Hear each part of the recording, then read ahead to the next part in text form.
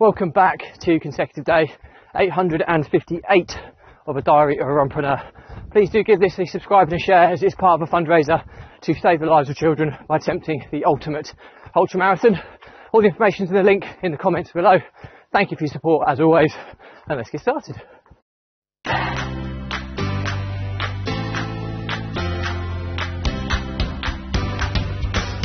So, consecutive day 858 of a diary of a runpreneur. Um, if you just bear with me a second, because I'm just about to go past a horse, and um, I don't want to be making too much noise when I do so, in case I get a horse kick to the back of my head. So just uh, bear with me a second as I go past this horse.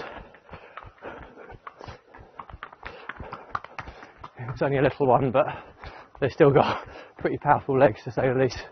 So I got a bit of traffic down this country lane tonight. But anyway, so uh, today I want to talk to you about the Apple Watch Ultra.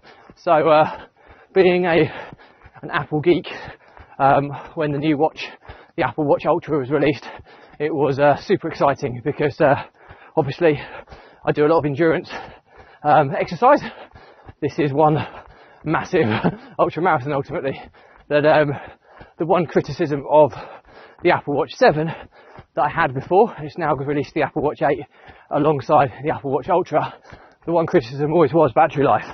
Um, they even introduced street, uh, sorry, sleep tracking, uh, I think last year or the year before, but when the battery life is so poor, when I say poor, you get a day's worth of charge before you have to charge overnight.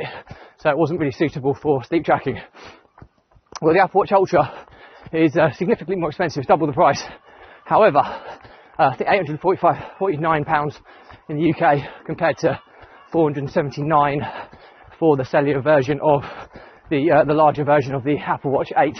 Um, it's 49 millimeter uh, face, which I'll try and zoom in on here. It's uh, it's massive. It looks really really chunky and aggressive on your on your on your wrist. Um, it also feels incredibly comfortable there's quite a significant increase in weight, but you wouldn't notice it because the straps are so well made that they uh, they just feel really comfortable. I've got the the trail loop on, uh, which is uh, for endurance running, so it's it's probably similar to the sport the sport band uh, or sport loop. I think they called it before. It's the kind of material based uh, sport loop, um, but it is uh, a little bit more um, rugged and able to take the additional weight of the of the watch to hold it secure on your wrist, which is really important. So the first thing I'd say is that if you've got really small wrists, it might not be for you. I mean, I have pretty small wrists, but it probably just about looks okay on my wrist. Any larger, it'd probably be too big. So uh, that's a consideration. So, like I say, um, as a as a male, I have relatively small small wrists. If you're got quite big arms or big wrists, uh, no drama if you're a female, uh, unless you've got big wrists, you might find it uh, a little bit uncomfortable. So that's uh, just something to consider. Um, but it's got 36 hours of battery life as standard with a low power mode about to be released, which will extend it to 60 hours, which is huge.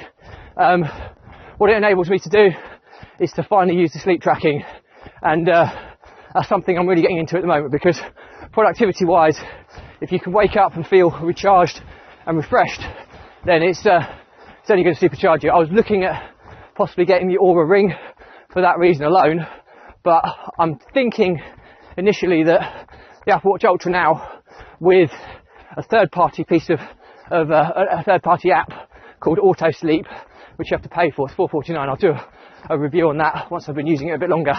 Um, I think the conjunction of those two gives me all the data. I also use a HeartWatch as well, which is uh, goes really deep on, on heart rate.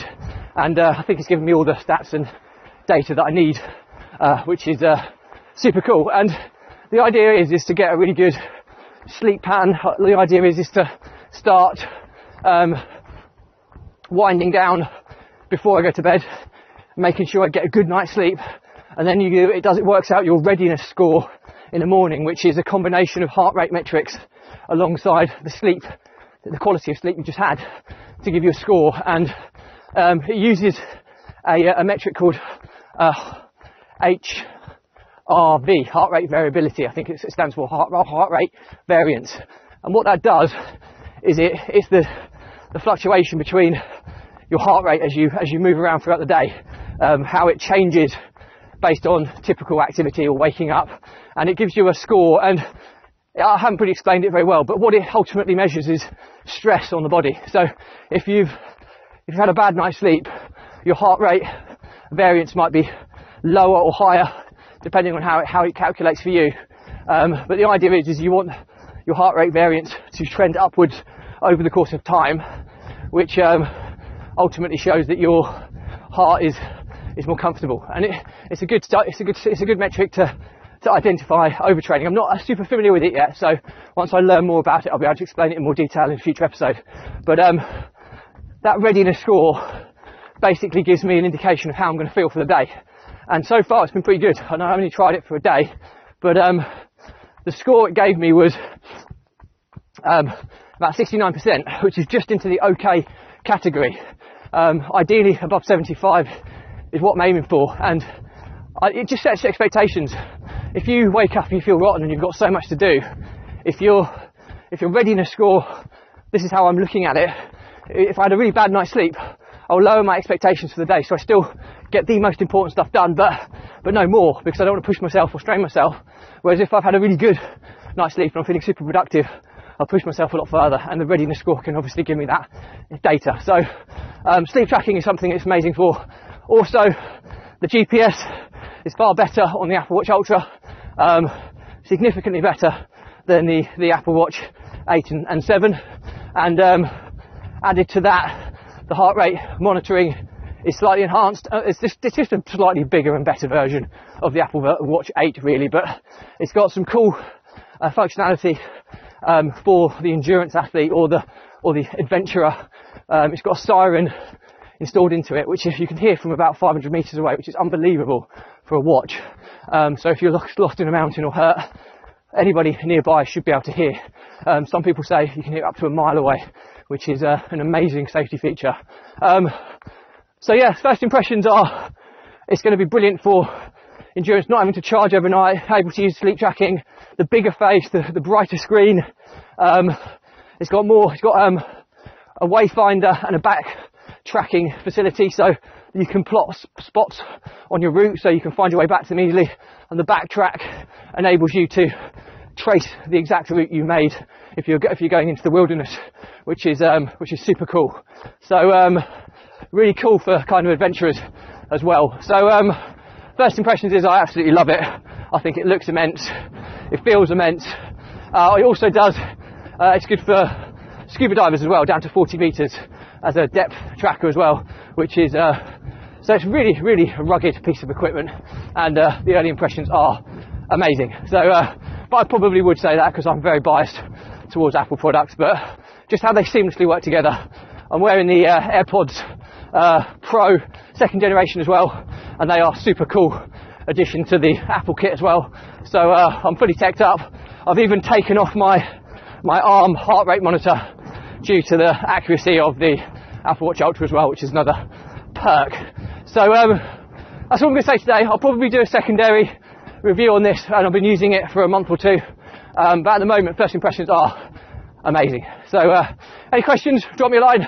I'll respond to everyone. Remember, this is part of the Run for No Challenge, so it's a fundraiser. So do good to subscribe and a share, as we're on a mission to save the lives of children by attempting the ultimate ultra marathon. Uh, thank you, as always. Stay positive, stay happy, and I'll see you again tomorrow.